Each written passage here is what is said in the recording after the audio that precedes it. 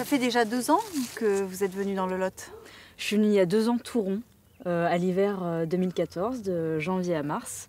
Il faisait à peu près le même temps, il y avait des chiens qui criaient derrière et il y avait des chevaux qui passaient toute la journée. Donc ça me rappelle beaucoup de souvenirs et de très très bons souvenirs de revenir ici. Qu'est-ce que vous avez aimé sur ce COS? J'ai aimé le paysage, j'ai aimé la tranquillité, euh, j'ai aimé la nourriture aussi, beaucoup. Euh, et j'ai surtout aimé avoir ce temps libre pour écrire, euh, pour faire ce qui était vraiment important pour moi, pour mettre en page et corriger ce texte, Le cœur du pélican, qui depuis a eu une vraie vie en librairie et une vraie vie médiatique. Donc c'était quelque chose de très important pour moi de venir ici la première fois et c'est un peu un pèlerinage.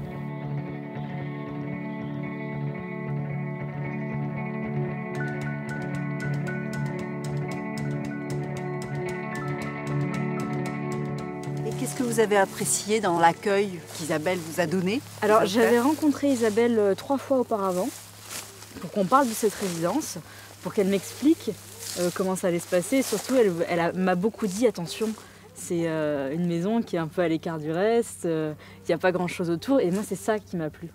C'est pour ça que j'ai vraiment eu envie de venir. Et quand je suis arrivée, mais j'ai été accueillie.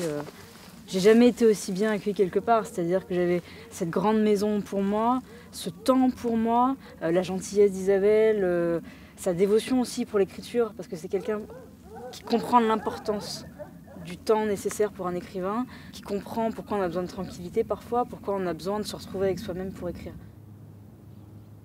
Et comment est-ce que vous organisez votre journée? Déjà, ici, on dort très très bien. Donc je dors beaucoup, après avoir travaillé le soir, mais je dors beaucoup. Le matin, je fais du sport quand je me lève. Après, j'écris pendant deux ou trois heures. Je vais me promener, je fais de longues promenades à pied ou en courant, ou alors je vais faire du vélo. Et je réécris euh, l'après-midi et généralement le soir. J'ai besoin de diviser mon temps entre les activités physiques et sportives et l'écriture. Comment on devient écrivain? J'ai tellement aimé qu'on me raconte des histoires que j'ai voulu en raconter à mon tour. Il y en a qui font pas le passage de l'un à l'autre. Euh, je crois que moi, il y a un moment donné, à force qu'on me lise des livres, de lire des livres, de voir des films, d'écouter de la musique, j'ai eu envie de m'y mettre aussi.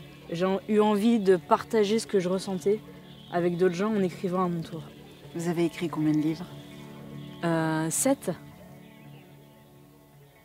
Le métier d'écrivain, c'est d'écrire, certes, mais quels sont les à côté? À côté, il faut en fait promouvoir le livre. C'est-à-dire qu'il faut accepter l'idée de partir pendant euh, six mois, un an, une fois que le livre est sorti, euh, en librairie, sur des salons du livre, dans des médiathèques, des bibliothèques, euh, dans des collèges, des lycées, des universités, pour défendre son livre, pour défendre sa vision de l'écriture et pour expliquer aux gens qu'être écrivain, c'est pas que écrire des livres, c'est aussi défendre ce qu'on écrit et défendre son livre. Et peut-être pouvoir en vivre aussi. Oui, oui parce que les écrivains ne vivent pas d'amour et d'eau fraîche, contrairement à ce qu'on pourrait croire. Et euh... Ils passent pas leur temps à courir sur le cos et à dormir. Absolument. Donc il faut, euh, il faut aller, comment dire, il faut aller proposer son livre au lecteur. Qu'est-ce que vous allez raconter la prochaine fois?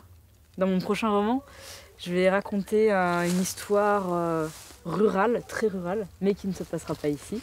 Parce que j'aime pas trop parler de ce que j'ai pu vivre ou des endroits où je suis allée. Donc ce sera l'histoire d'un village au début du siècle et de, des gens qui s'installent dans ce village et qui vont faire la gloire puis la décadence de cet endroit.